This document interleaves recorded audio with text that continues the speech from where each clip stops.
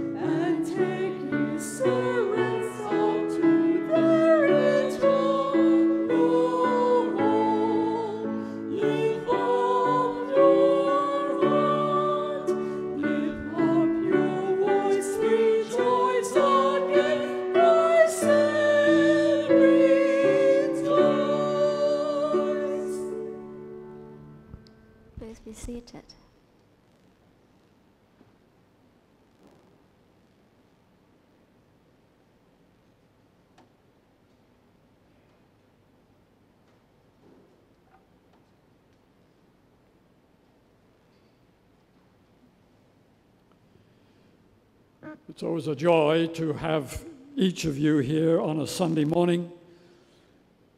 Now let's take a few moments to prepare our hearts. And this is a private moment in our meeting together where we can confess anything that the Holy Spirit reminds us of that needs confessing, bringing to His attention, and dealing with it before we proceed in our worship hour. Let's take these few moments now to be quiet before the Lord.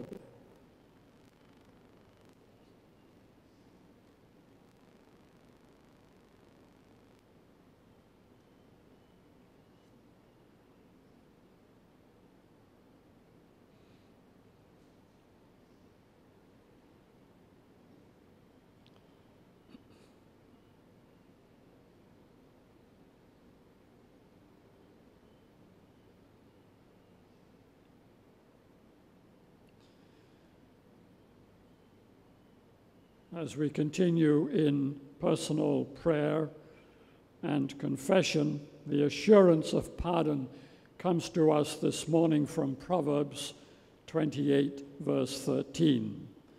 No one who conceals or hides his transgressions will prosper, but those who confess and forsake them will obtain mercy. Our loving Heavenly Father, as we come into your presence this morning, we come again in and only through the precious name of Jesus, your Son, our Savior. We thank you, loving Father, for all that you have provided for us in your Son Jesus. And as we bow before you this morning, we thank you again, Lord Jesus, for all that you have done for us in obedience to your Father's eternal and holy will, in providing a place of acceptance, a place of reconciliation, a place of mercy, a place of pardon. We come reverently, but with joy, with confidence, because you, the Holy One, the Eternal, Almighty, Sovereign of the universe, you have invited us to come because of Jesus.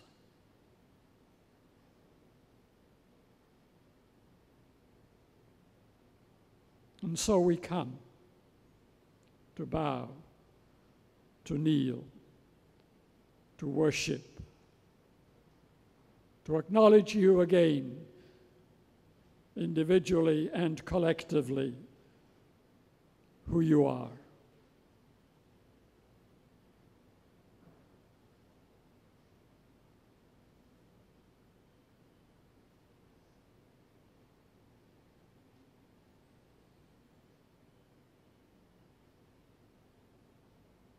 Again, Lord, as we continue in your presence in prayer, we do want to remember our pastor, the pastoral team, the elders of this congregation, the Sunday school teachers, the classes that are taking place right now. We ask, gracious Lord, that you would be among them even as we know that you are among us by your Spirit.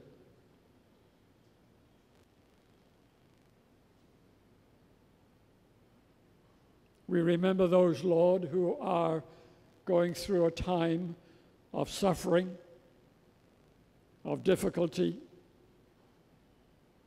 of tension, of confusion, maybe even of darkness.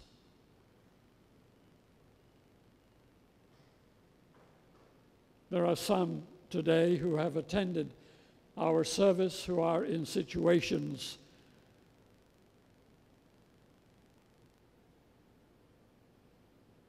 that are very difficult. We remember them this morning in the name of Jesus. We pray, gracious Lord, for those who are in immigration detention or in any other capacity where they are not free to move about, to travel, and to attend our service and worship together. We lovingly commit them to you this morning and for this day. And pray, gracious Lord, that you, by your Spirit, will draw very near to them, touch their hearts, that they may, in spite of their situation, lift their hearts to you in prayer, in worship, and even in praise. We continue to thank you, Lord, for the peace in the land, And again, we ask that your people, including all of us here this morning, may take the opportunity to bear witness to your love, to your grace, and to share your message of salvation with those who are willing to listen.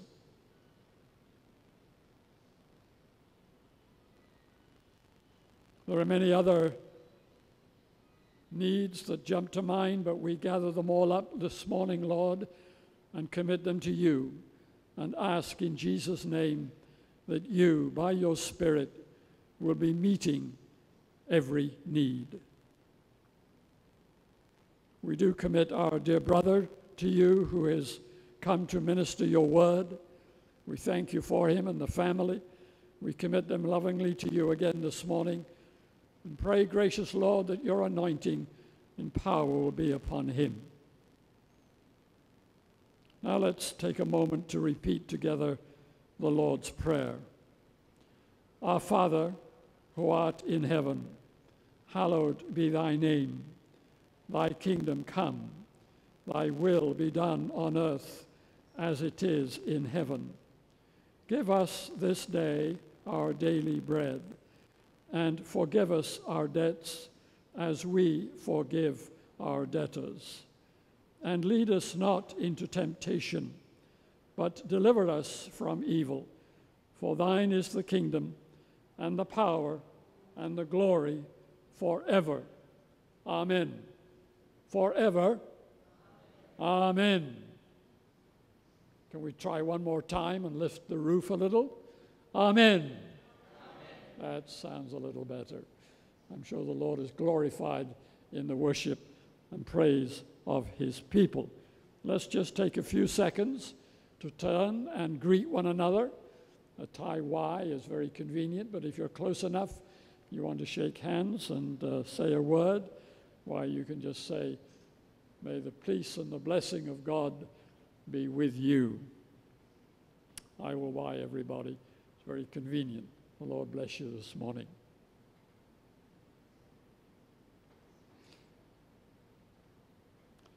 I would like us to remember, I got news this week that hundreds of Pakistani immigrants have been arrested, and quite a number of those who have been coming to our morning service are not here this morning, partly for that reason. I called one brother who normally comes regularly and has been attending our Sunday morning Bible class after lunch, and he's hiding out in Pattaya with a friend that took sympathy on his situation. How much longer he can hide out, I don't know. But I have spoken with several that they do need to remain on the right side of the law. And I know in some cases it's difficult because they don't have the finances to deal with their immigration uh, documents. But I said, well, you need to remember that, or you should have remembered and thought about that before you jumped into the fire. We have an expression in English. Some people, they jump, they're in a frying pan. We all know what a frying pan is. I was going to go into Thai, but never mind. They jump from the frying pan into the fire, which basically means they're in one hot place, but because they feel uncomfortable, they jump, but they jump into a hotter place. And uh, this is what some of them have done, unfortunately, but we do want to remember them uh, in love, in the love of Christ, and in sympathy. I share that with you for your prayers throughout this coming week. If you are in any way able to help, then I'm sure our brothers and or sisters would be very, very grateful. Let's turn to the back of our bulletin now very quickly. I don't want to take too much time from our uh, speaker, but we do have a couple of prayer requests and a couple of praise items.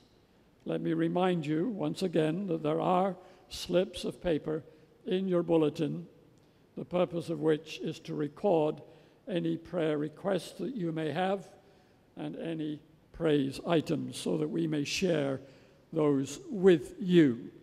Not only today, but we'll take them home and pray and praise during the week. Let's pray for Raisat Masih and his family, asylum seekers. Pray that God will meet their needs. There are quite a number. We could add to this at least 15, 20 names. But God knows who they are, God knows where they are. Our Father knows what their needs are, so let's remember them. We have one name. If you know of any other names, I trust that you can remember those names before the Lord. We are facing a hard situation in Bangkok. We are from Pakistan. Please pray for us, and this can be repeated by many. This is Princella. I'm not sure who Priscilla is, but if are you here this morning? No? All right. That's understandable. Let's remember our brothers and sisters in prayer, and together we'll praise him, for he is worthy to be praised. Praise him for his life, gift of life to us day by day. Let's pray, pray, and praise together. Our loving Heavenly Father, you know the needs that each one of us represent here this morning. We are a needy people. Whether we like to acknowledge that or not, we are needy. We pray, Lord, again, especially for these who are in places of discomfort, places of fear. And we ask, Lord, this morning again that in Jesus' name you would be among those who are really trusting you and are seeking to follow you in spite of their situations this morning. For each one of us here this morning, we commit one another to you in the name of Jesus again and look to you, Father, to be meeting the needs that we represent, whether they are physical needs, spiritual needs, financial needs, needs of guidance, counsel, whatever our needs may be this morning, we ask, Lord, in Jesus' name, that you, by your Spirit, will be meeting the needs of each one of us and those that we represent, our families, our friends, our loved ones. We commit ourselves now to you and thanking you, Lord, that you are here by your Spirit. Minister to us in power and in blessing. In Jesus' name, amen.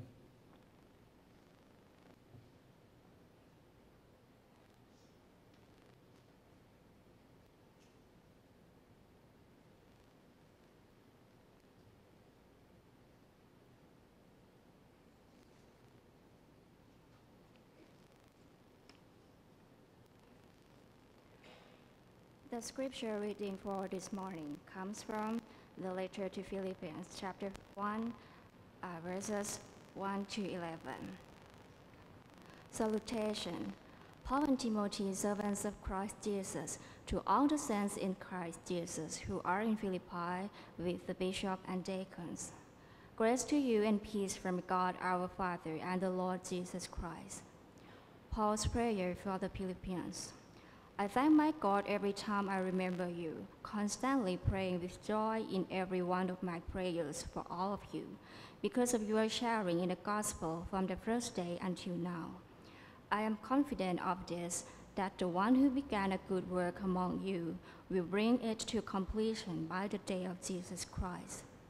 It is right for me to think this way about all of you, because you hold me in your heart for all of you share in God's grace with me, both in my imprisonment and in the defense and confirmation of gospel. For God is my witness, how I long for all of you with the compassion of Christ Jesus. And this is my prayer, that your love may overflow more and more with knowledge and full insight, to help you to determine what is best, so that in the day of Christ you may be pure and blameless, having produced the harvest of righteousness that comes through Jesus Christ, for the glory and praise of God. The title of sermon for this morning is The Life of a True Christian Life, delivered by Reverend Dr. Stephen, uh, Dr. Steve Taylor. Everybody, it's very nice to be here again this morning with you. Um, I've entitled the sermon this morning, The Life of the True Christian. And how do we know what a true Christian looks like? Uh, how can we determine if a person is really on the foundation of the Lord Jesus Christ? Because the foundation of the Christian life is by grace, by faith in Jesus Christ. And many things that we can look at, we can see whether they're real or false. Uh, for instance, the Thai identity card. Is this one real or false? Or should it be like this? Which one is real or false? Even the Thai people, I think some are questioning. well, the correct one is the one below. The picture should be on the right hand side uh, if it's a real Thai identity card. What does the normal Christian, or what does the true Christian look like? In our reading in Philippians, uh, we read about how Paul thanks, the, thanks God for the Christians in Philippi because they genuinely had a burden for the gospel in verse 5. Uh, Paul thanks God that he who began a good work in you in verse 6. And then reading on, uh, he says how I have you in my heart in verse 7. And he then prays for them various things that may be evident in their lives. And the last phrase in these verses, he concludes with, To the glory and praise of God. And the reason why this is significant is because all religions center on what we do for some religion, but the Christian faith centers on what God does. God is the center, and all is to his praise. He is the one that begins a good work in us, he is the one that completes it. The true Christian is one where God is the foundation of everything. It's not so much what we do in order to be a Christian. It's what God does in us and makes us in His name. So, therefore, I've entitled my sermon, The Life of the True Christian. What does he look like, or what does she look like? The first point that I want to emphasize this morning is in verse 6 that it started and completed by God Himself. He is the one that begins so in verse 6, we say, we read that being confident of this, that he who began a good work in you will carry it on to completion until the day of Christ Jesus. The first evidence of being a true Christian is that the work began with God's work in you, not with you yourself. Uh, Paul saw this in the Philippians and we know how they, they, they started their Christian faith in Acts 16, verse 12 to 15.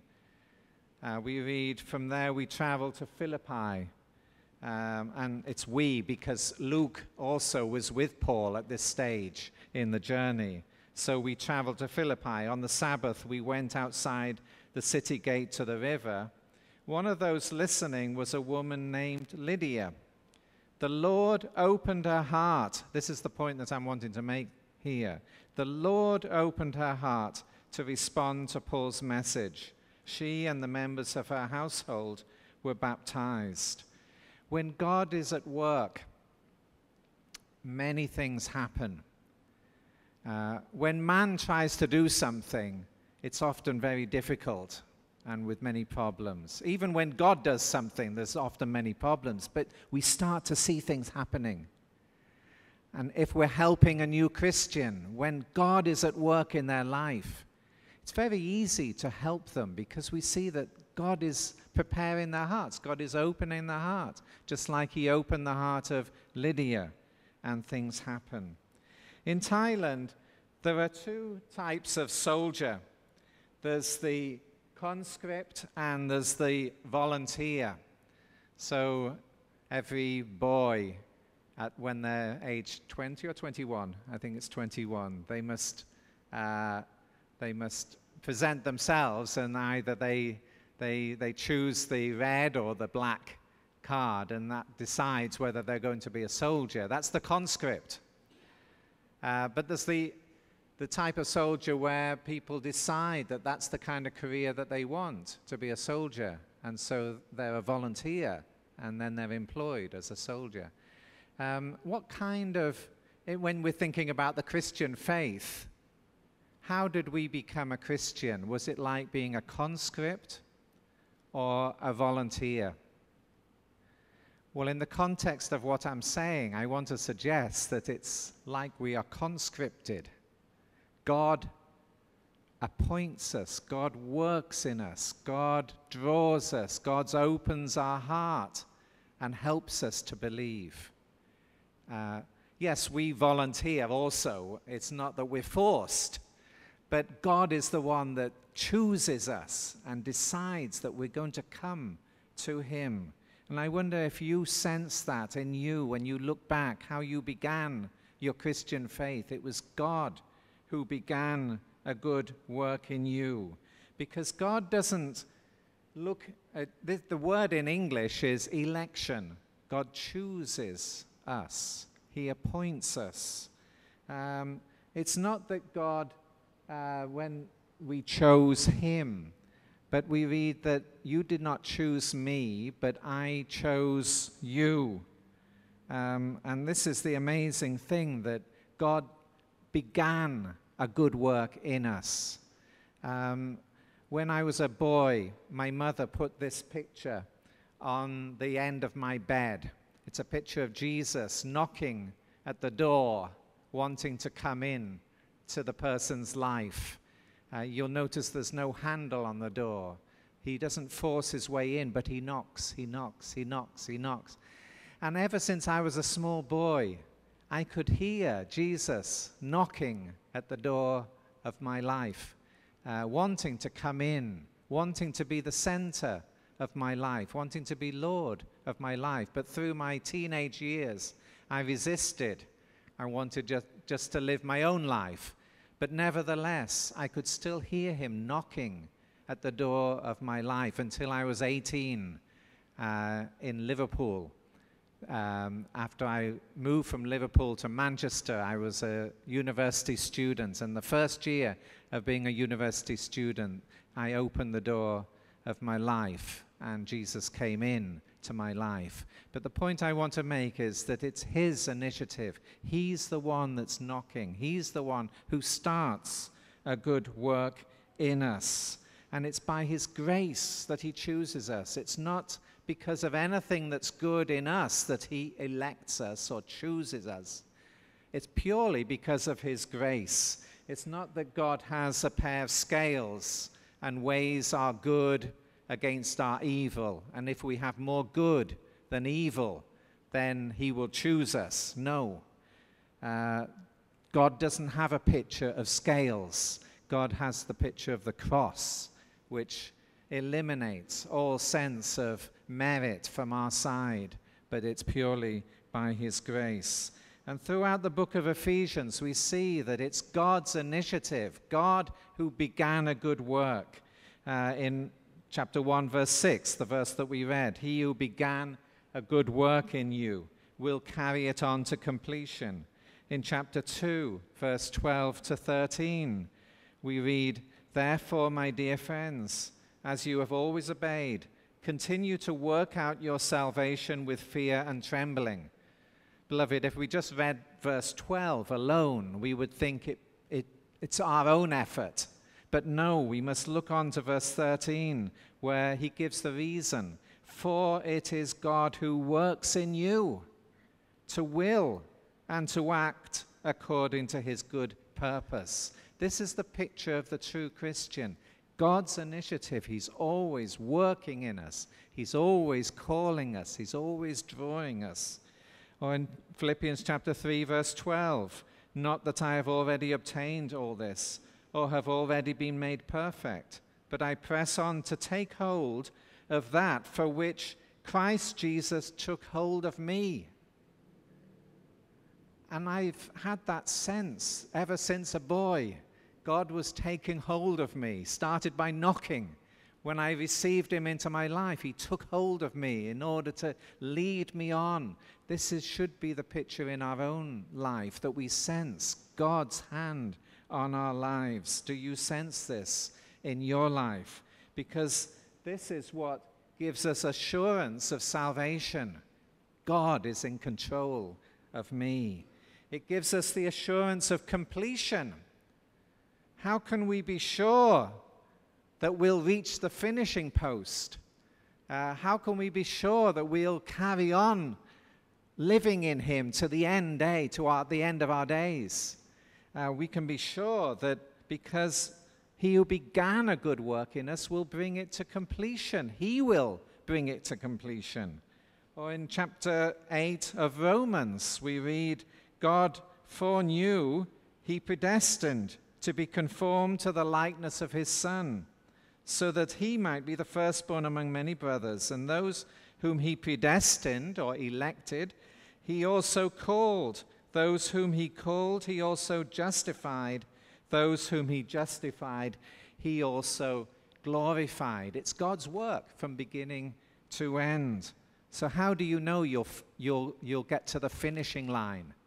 It's not because you determine to get to the finishing line. It's because God determines that you will get to the finishing line. He's in control of your life. Now, how does he do this? Well, this is the second point, and we'll be a bit shorter in our second and third point. The second point I want to make is that he places us in hearts, or we're placed in hearts. Not only it's God's initiative from the beginning, but when God does something, he puts what he wants to do in the hearts of people. And this, by this, we can be sure that this is a genuine work of God, or we are a genuine work of God. Uh, in verse 7, we read, It is right for me to feel this way about all of you, since I have you in my heart. The Philippian Christians were placed by God into Paul's heart. And this made Paul confident that they're the real thing, they're really a work of God, because they've been put in his heart. In verse 8, Paul can say that God can testify how I long for all of you with the affection of Christ Jesus. And we see this when God is doing a work for instance, he was going to create the nation of Israel. What did he do? He put a burden in the heart of Abraham to leave his home and to go from Ur of the Chaldees to a place that God had determined for him. And from this one man, Abraham, God formed a nation. But he started by putting it into Abraham's heart. Didn't start from Abraham. God placed it there, and Abraham then responded in faith, and that formed the foundation of what God was going to do from that point. Um, this is the thing that I want us to see that when God is working in somebody's life, He's working in your life, He'll put you in the hearts of others. And sometimes He puts others in our hearts too. This is a firm assurance that these are things that God is doing. Uh, we should be sensitive to the burdens that He gives us and the people that He gives us a burden for because these are people that God is at work in. They're real, they're the real thing, they're the real Christians. Um, when I became a Christian at 18, when I was a student, I was in Manchester. Um, and then I went back to Liverpool, where I grew up as a boy. And because my mother was a Christian, she had taken me to church as a boy, but when I was a teenager, I stopped going to church. And, but when I became a Christian at 18, I went back to the church where I grew up. And there was one little old lady there named Miss Grimwood. She had never married. She was about 80 years old at that time. And I shared in the church how I'd become a Christian. And she came up to me at the end of the service and she said to me, Steve, do you know I have prayed for you every day of your life since you were born? And that really made an impression on me that God had put me on her heart and she had prayed for me every day of her life until I became a Christian. This is what God does when He's doing something. He puts people on hearts. Who has He put on your heart? And for sure, you are on the hearts of some people too. And we should recognize that. Um, what God starts, so what God starts, He completes. Started and completed by God. He places us on hearts. And then finally, the true Christian is one who has a faith which bears fruit. There's an evidence of their faith. Uh, when God has started something, we see its evidence in practice. And Paul was confident that God was doing a genuine work in the lives of the Philippians because he saw that their faith was evidenced by works. In verse 5, he thanks God because of your partnership, because of their partnership in the gospel from the first day until now. And this is what a real Christian looks like. Even right from the beginning of their Christian life, they start to have a burden for the things of God, for God's kingdom. They want to see God's kingdom come on earth as it is in heaven. They have a burden. And almost they don't need to be told to give their offering. It's not that we give the offering because it's a law uh, or because the church tells us to. It's because we have a real desire to have a partnership in what God's doing in the gospel. And Paul saw this in the Philippian Christians. Um, he saw it evidenced by works. In verse 9, he says, You will love more and more. Is this a characteristic of us as a true Christian that we're loving more and more? Um, it's not because we try and love, because, but because Christ is in us and revealing his love. It's the fruit of the Spirit coming forth from our lives more and more. In verse 10, you will be able to discern what is best. You know, the true Christian is somebody who's in touch with God's Spirit, and God speaks to them. And by that, they're able to discern what is best in their lives. Very often, as human beings, we don't know what is best. We don't know what the best choice to make is. How can we go through our lives and come to the end of our lives and have no regrets for the decisions that we make? By listening to what God says, that we'll be able to discern what is best. I can honestly say that now I'm 60, 61, just turned 61, but my wife and I, we've been serving for 35 years now in Thailand. Um, I became a Christian since I was 18. As I look back on my life, I have no regrets. Because always, especially in the larger decisions, always sought to know what God's will is. And He enables us to be sure of what's best. And so we have no regrets as we look back on our life in the decisions that we've made because we've always sought to seek God's purpose, God's will. We've been able to discern what is best. Uh, it may not always mean that we make the most money. Certainly, as a missionary, I've not made as much money by deciding to move out of my work as an engineer. But I've never regretted the decision. It's been able to discern what's best, what God, God's best for you is. This is the true Christian, in touch with God, and God speaks to them. In verse 10, being pure and blameless. And verse 11, being filled with the fruit of righteousness. Are we becoming more and more pure?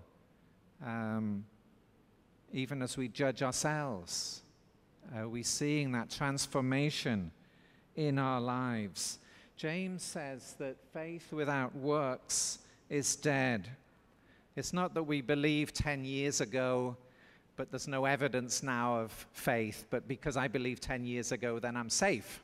No, the Bible doesn't affirm or give assurance to that. But true faith works. True faith is evidence by works, something that comes out from our lives. The assurance of salvation now is that God has started something in us, and it's evidenced by works, things that are coming forth from our lives. Um, so, twice in our passage, Paul refers to the day of Christ, that God will keep you up until that day. You will have a faith that's living up until that day when Jesus comes. Jesus came 2,000 years ago in order to bring salvation, and he will come again to judge, to judge everybody, including Christians too.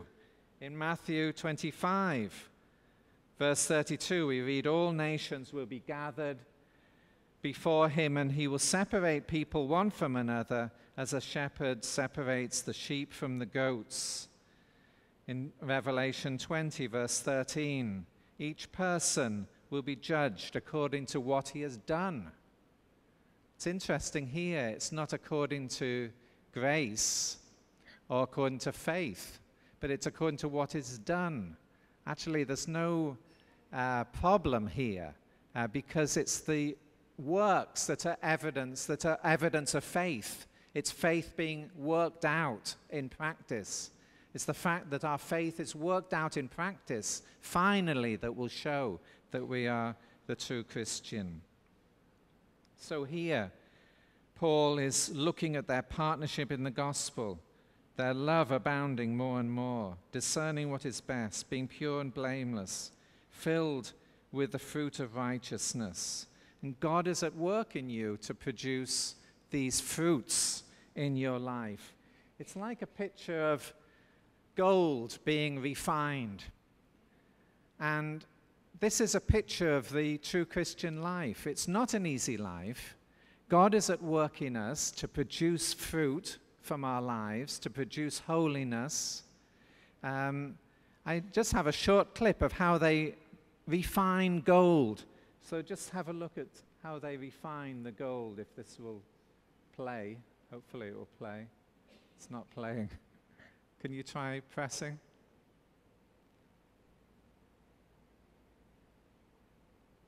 No, it's not playing.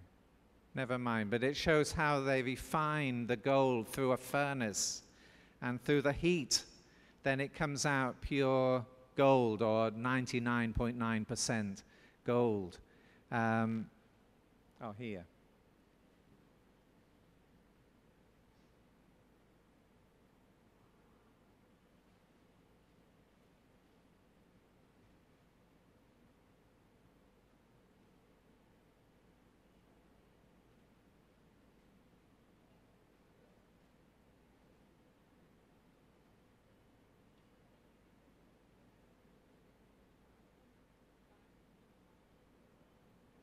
And the finished product is quite beautiful. And that's a picture of what God is doing in our lives in order to produce that fruit, the fruit of righteousness in our lives. It's God's work in us. Um, it's the, the point that I'm making is that grace and judgment go together, that God elects us, He draws us to Himself by grace. It's not by anything within us. But then, as we come to Him, we allow His judgment to come upon us. That He, he it's like a refining fire, that He burns out those things that are not correct in our lives. This is the true picture of the Christian life grace and judgment going together, Him burning out what's wrong, sometimes through trials, sometimes through hardship, uh, sometimes through failure, sometimes through sickness, uh, whatever God deems fit in order to use as a furnace. But we must submit ourselves to the furnace of God. So, just in summary, the life of the true Christian, it's started and completed by God. It's uh, the, the true life is started and completed by God, placed in the hearts of others, and He places people in our hearts. And it's a faith which bears fruit. Is this a picture, as we thought this morning, of your life? Can you sense that this is God's work in you and what He's doing in order to produce, just like that pure gold, uh, for His glory? Let's pray.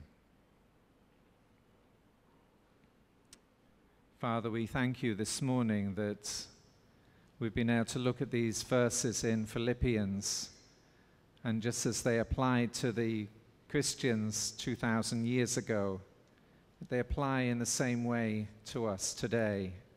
That you've started a work in us. Lord, thank you that it doesn't come from our own effort, even from our own goodness, because we don't have any, yet because of your grace.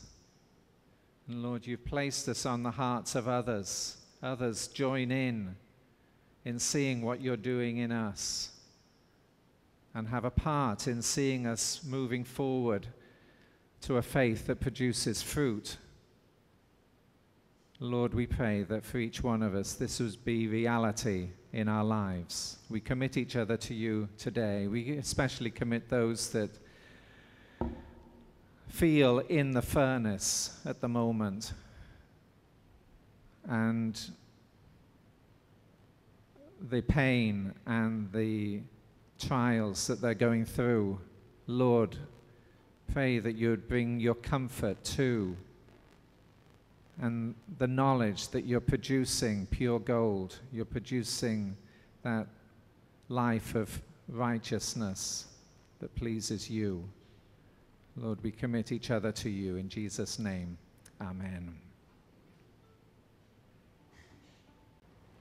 Praise the Lord for his word that have come to us this morning. Offertory, for you know the generous act of our Lord Jesus Christ, that through he was rich, yet for your sakes he became poor, so that by his poverty you might become rich. We will remain seated as we sing the hymn, Jesus, keep me near the cross.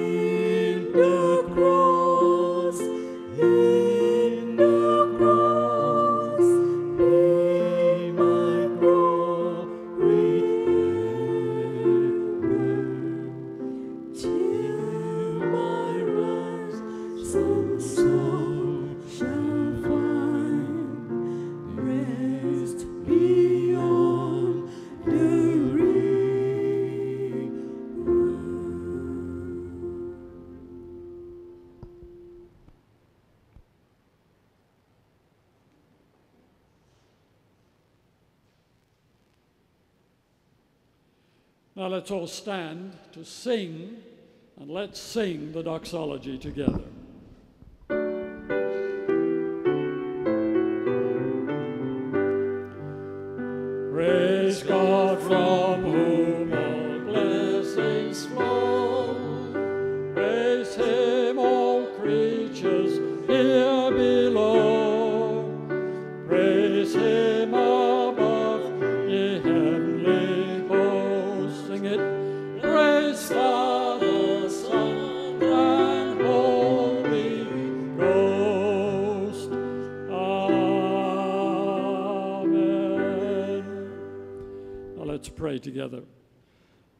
Father, again, we thank you for your word to our hearts this morning.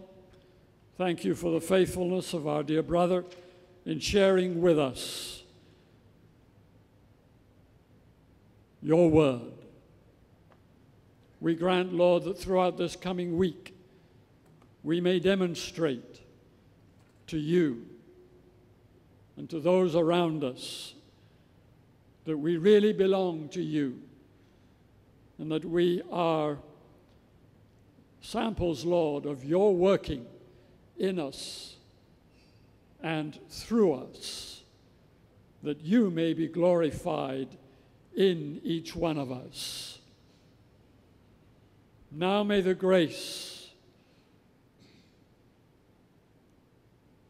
of God the Father, the love of Jesus, and the fellowship of the Holy Spirit be with each one of us throughout these coming days. In Jesus' name, amen.